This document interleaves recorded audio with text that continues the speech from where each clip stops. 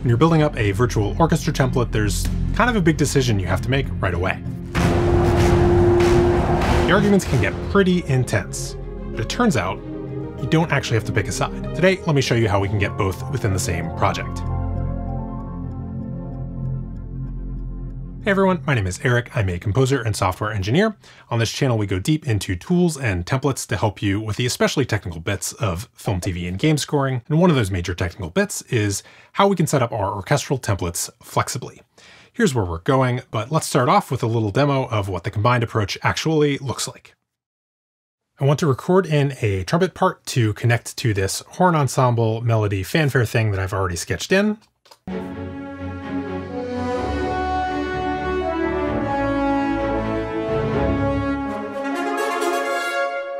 I'll be using a four trumpet ensemble from Cinesamples, which is part of their Cinebrass Sonore library. Originally, though, it was branded as 90s retro trumpets, so if you're getting any 90s score vibes, it's kind of what I'm going for. I have my individual articulation tracks hidden underneath this folder, but let's ignore those for one second and do what I would actually do in practice and record in the new part on this key switch track. Here we go.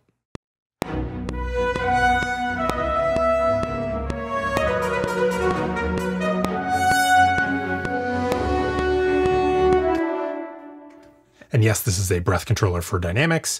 Wasn't the world's best take, but hey, that's what editing is for. And with a bit of cleanup, we get to something that sounds like this.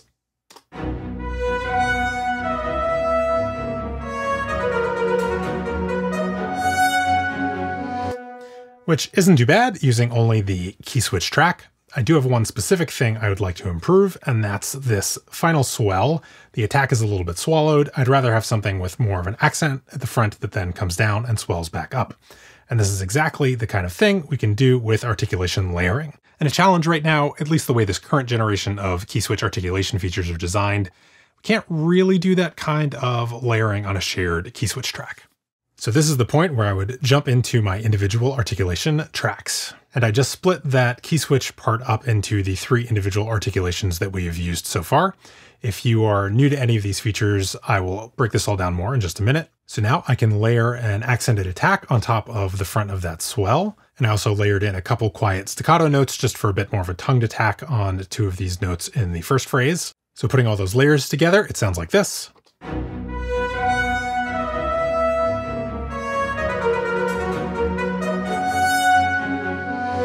Which we can obviously keep tweaking, but hopefully you get the point. I think this is giving us a more musical result.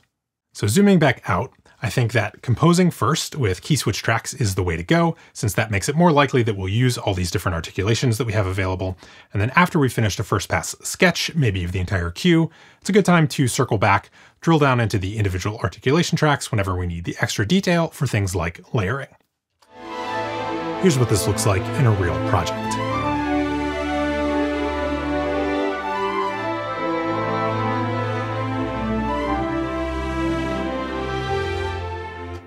And across the project as a whole, I am definitely using my key switch tracks the most often, so I'd say they're doing the heavy lifting, but it is very nice to be able to drill down into the individual articulation tracks, just if we need a bit of extra detail here and there, or if we have to pull out all the stops.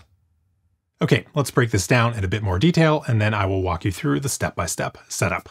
So key switches, as is hopefully clear, are a special range of notes that we play not to hear any sound, but to change which articulations that we'll get for the next real notes that we play in.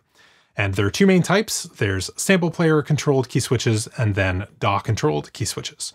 And we often use the two in combination. The first is when our sample player plugin knows about and controls the switching, like here in Kontakt. This particular instrument preset has eight articulations, legato, sustain, and so on.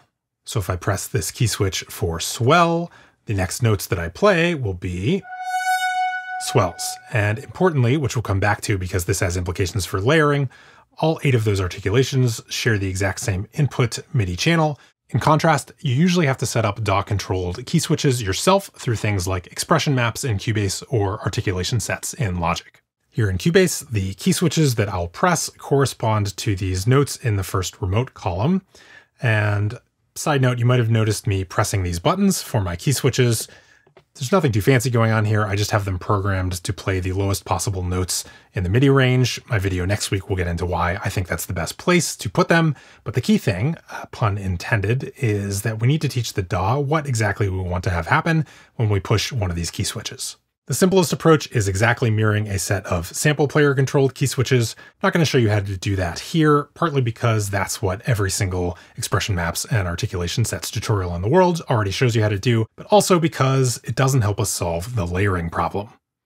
So how do we solve the layering problem? So glad you asked. We do it by splitting up each articulation onto its own separate MIDI channel. Every sample library organizes things a little bit differently. With Cinebrass Sonore, this first articulations instrument preset will load all eight articulations sharing the same MIDI channel, whereas the rest of these eight uh, will load one articulation each, each responding to one input MIDI channel.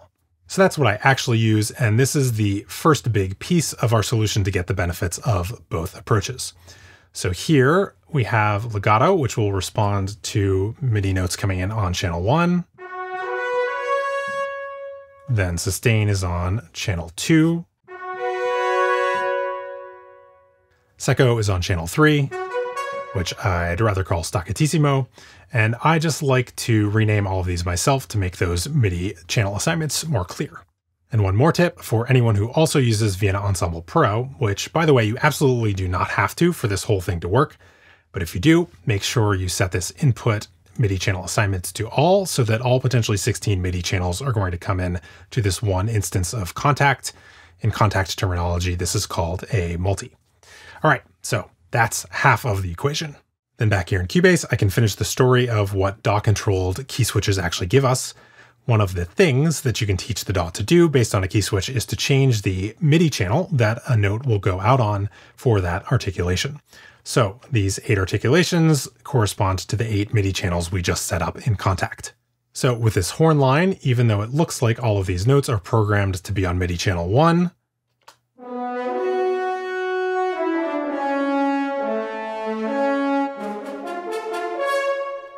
can hear that the expression map has rerouted all of them on the fly to the right individual MIDI channels.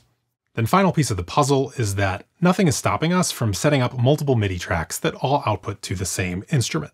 So of course, for the trumpets, I have the key switch track and then the eight individual articulation tracks. And just to show you that routing, all of them are outputting to the same virtual instrument MIDI port. Then this third line shows the assigned MIDI channel. So the first key switch track uh, set to any because it's going to output to multiple channels. Based on which key switch I hit versus those individual articulation tracks, which just assign directly to the channel they need to go to. And also note the individual articulation ones don't need any kind of expression map or articulation set. And so if we have notes happening on a key switch track and an individual articulation track at the same time, the DAW is just going to nicely merge the two together for us. Except we do have to be a little bit careful with how they interact with one another. So if you don't like to think about the nuances, my simple rule is for a given instrument, for a given measure, to use either your key switch track or your individual articulation tracks, like I did in the opening demo.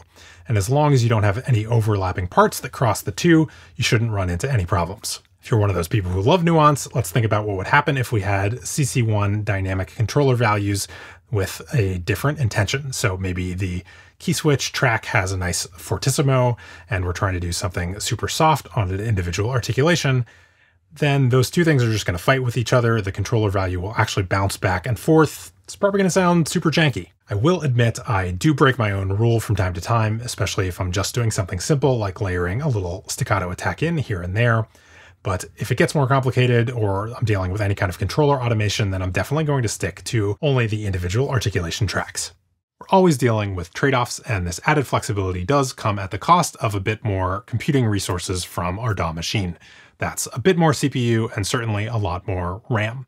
Most sample players are smart enough to not load the same sample into memory twice if there's any shared samples across the different instances that we're using, but there's still some overhead. It's certainly not eight times the amount of memory, but in my experience, it often ends up something like double what it would be if we were loading them all into one instance. If you have limited system resources, I would say only use this trick for your favorite instruments in the orchestra.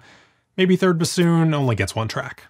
One last warning, certain sample player plugins, and I will pick on Spitfire Audios here just as an example, don't have any kind of equivalent of the Kontakt Multi. On its own, that's not really a problem. It just means if we want to split up articulations, we just need to load multiple separate instances of the plugin. But if you're hosting those directly inside of your DAW, a problem you'll quickly hit is there's no easy way to route from an expression map or articulation set across multiple different plugin instances.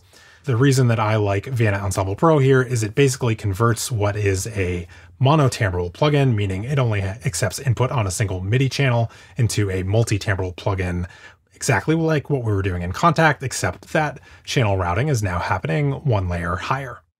So if you only remember one thing from all of this, key switch tracks are great for initially composing, individual articulations are awesome for next level detail with tricks like layering, and why not give yourself the best of both worlds? Next week, I'll go deeper into how to actually set up key switches the way you want, which is a bit painful at first, but future you will be grateful once that pays off on later projects. If that's up, that will be this video. Otherwise, this will be something else interesting around key switching. Thanks for watching. Happy scoring.